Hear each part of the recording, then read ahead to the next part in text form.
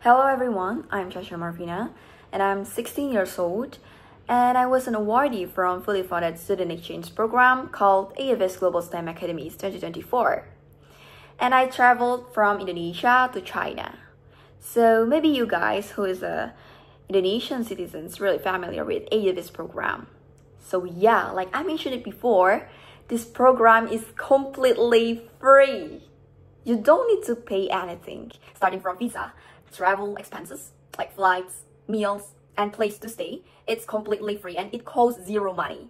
So for those who are really interested in this program, please make sure you really follow me until this video ends. And maybe if you guys have a different questions that you really want to um, seek out, please drop it in this comment so I can replay it or maybe make some videos related to that questions. So enjoy guys! What is AFS Global STEM Academies? As the name suggests, the program is focuses on STEM fields while also providing a cultural experiences. And for the program structure, the program is divided into two sessions, virtual session and also in-person session. First, for a virtual session, you will connect with participants from 15 different countries and you will learn topics like sustainability, self-reflection, design thinking, and diversity from UPenn. It's quite prestigious, isn't it? And you will attend Zoom meetings facilitated by supportive facilitators and mentors for about 12 weeks. And it's really flexible and you can choose it based on your schedule, so make sure it doesn't ruin your school, okay? And however, maybe as time passes by, you cannot attend your meeting, you can ask for reschedule. But please note that don't do it too often and just reschedule it when it really necessary. And during Zoom, usually you will be given the chance to, the, to have like a breakup room sessions with your international friends. So you guys can communicate clearly and privately to build a strong connections. And you will also engage with materials presented through tools like uh, PowerPoint or maybe Kahoot. Yeah, that's it. And you will complete like weekly modules as a part of the curriculum and submit a final project or we call it capstone project as evidence of learning. And next step is making visa. First of all, you will initially pay for the visa application, but will be reimbursed by AFS later, so don't worry guys. Once your visa is um, approved, you will only need to wait for your in-person program to start in your host country. And here, the most exciting part is in-person session.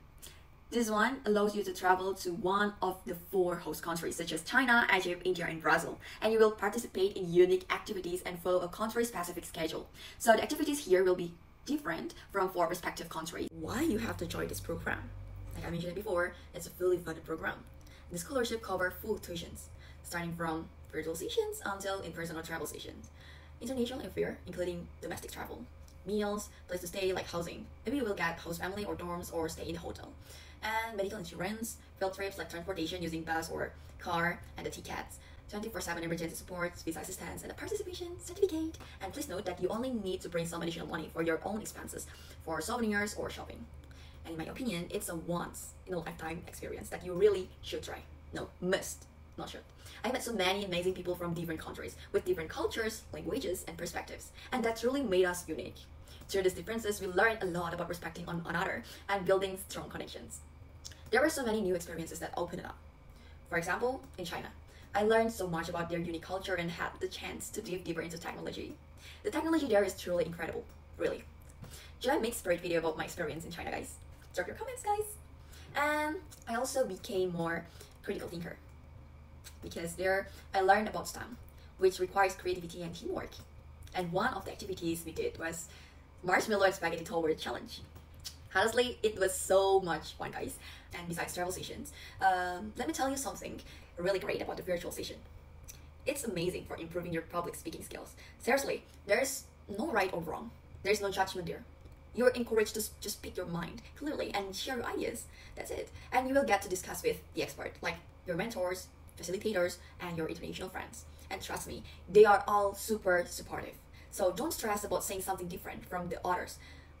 Because back then, it's just your point of view. Like, there's, yeah, just your perspective, guys. Um, just to be confident and take the chance to grow. Also, you will get the certificate that will really boost your CV. Okay guys, so let's talk about what you need to prepare for this application process, step by step. The things and documents must be in English, okay? And of course, the most important part of the applications is the essays. You need to write three essays. But however, when I saw the application process, there's a lot of questions there. And for me, it feels like essays anyway.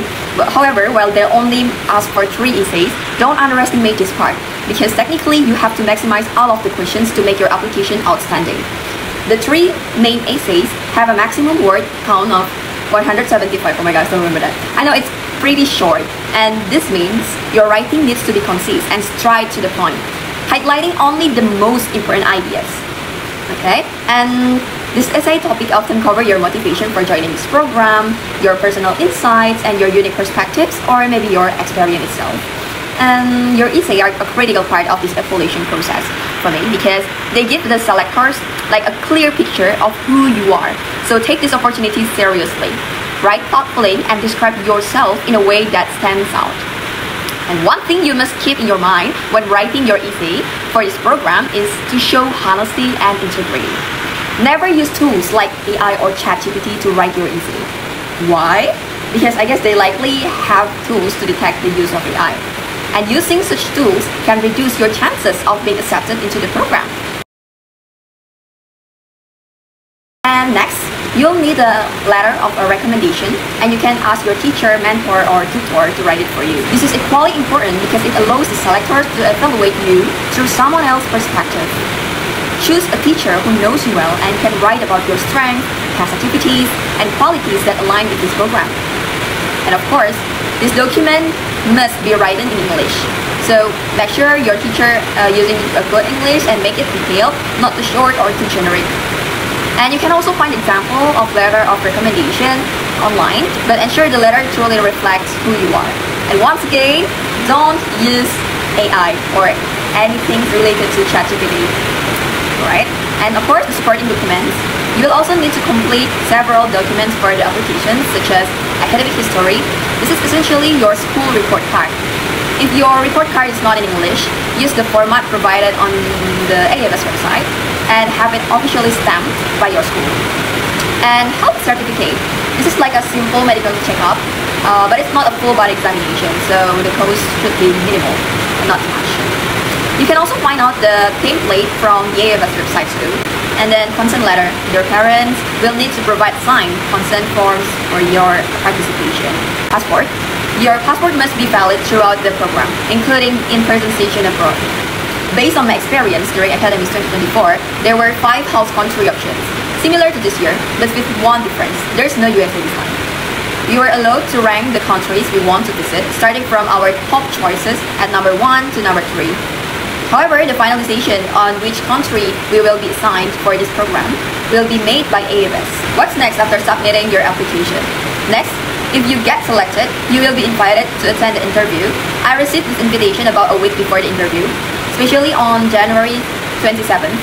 They will also provide you with a Zoom link.